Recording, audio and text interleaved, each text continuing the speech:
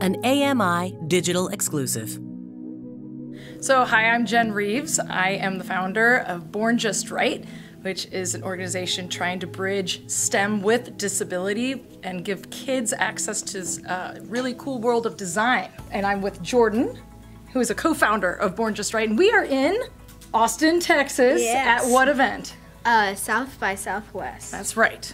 I was probably disability world adjacent until I became a parent of a child with a disability. And as Jordan has grown up, she has become her own voice in the world of disability, advocating for herself and her peers.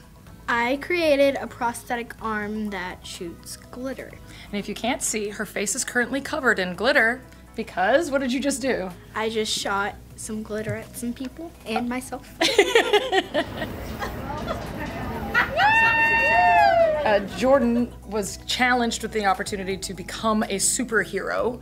And if you're going to become a superhero and you have a limb difference, and Jordan has just a humerus on the left side, uh, why not be a superhero who shoots glitter?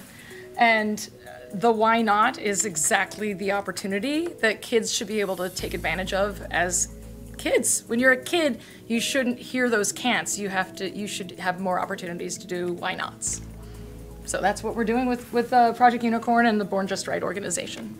so, how it works is it uses compressed air to go through a tube, and glitter is just hanging out here, and then the compressed air shoots it out of a unicorn horn.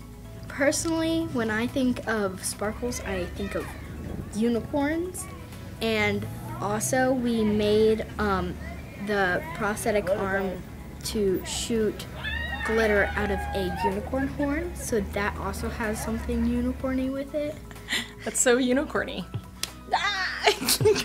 Kids um, with disabilities, it's really important that they can build off of their uh, difference to make something really cool. The kid knows what they want, and I feel like they should take the lead when they are wanting to do something. Right, and they may not know what they want yet. So we want to give them the opportunity to learn design thinking and come up with solutions that they maybe in the back of their head said, if only. Forget that. And if there is an if only in the back of their heads, we want them to learn how to solve the if only.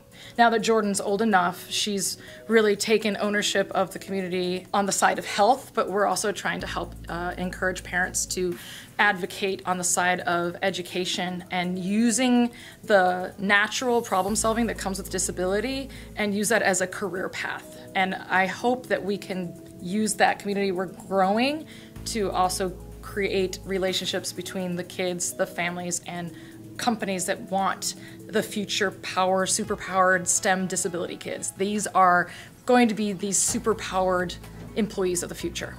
I've had families reach out to me from around the world and say, You give me hope. You have a positive attitude, and you're helping me learn a positive attitude about my child's physical difference. It's an honor to be a part of disability advocacy, and I'm really honored that she's willing and wants to speak and encourage others to celebrate their difference and learn to use it as an advantage. It's a just a it's a powerful time, and to be a part of it is is an honor. Visit AMI.ca for more accessible media.